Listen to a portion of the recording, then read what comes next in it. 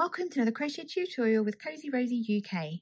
Today I'm going to show you how to crochet a double treble crochet three together.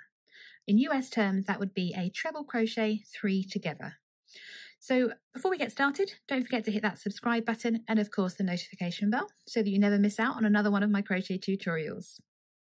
So the double treble or the treble crochet in US terms is the one that we wrap that yarn around twice to decrease across the three stitches. So when we're treble crocheting or double treble crocheting across three, we're going to work into the next three stitches along. So let's try one together. We're going to wrap that yarn around the hook twice and insert our hook into the next stitch. We're going to yarn over and bring a loop up. Yarn over to pull through those first two stitches. And again, we're going to yarn over and pull through two. That leaves us with almost like just one step left of our stitch. So we're going to leave where we are there and wrap the yarn around twice again and working into the next stitch.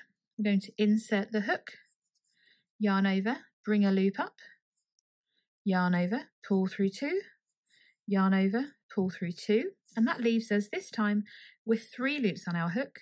And again, we've just got that one step left, but we're going to stop there wrap the yarn around the hook twice, insert the hook into that next stitch, yarn over, pull a loop up, yarn over, pull through two, yarn over, pull through two. That leaves us with four stitches remaining on our hook. And we're simply going to yarn over and pull through all four loops to bring those three stitches into one at the top there. You'll most likely find a double crochet three together in a wave or a chevron stitch. Um, and you'll also find it maybe in a different form of cluster, but most of the time you'll be using it to bring stitches in together or out. So the opposite to this would be, of course, three um, double trebles into the same stitch.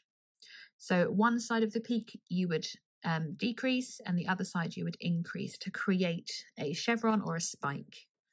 Let's do that together one last time. So we're going to wrap the yarn around twice, insert that hook into the first stitch, yarn over to bring a fourth loop up, yarn over and pull through those first two. You have three loops remaining on your hook, yarn over and pull through two. When you have two loops left, we're going to rewrap the yarn around that hook twice, insert our hook into the next stitch, yarn over, bring a loop up, yarn over, pull through two, yarn over, pull through two to leave us with three loops on our hook. And for the third and final time for the double treble three together or the treble crochet three together, wrap the yarn twice, insert into that third stitch, yarn over, bring a loop up, yarn over, oops, pull through the first two loops, yarn over, pull through the first two. That leaves us with those four loops on our hook and we simply yarn over and pull through all four loops so that we're just left with that one stitch on top of all of these three. I hope you've enjoyed this crochet tutorial and it will help you complete your next crochet project. I have a number of projects that do feature a treble, a double treble three together.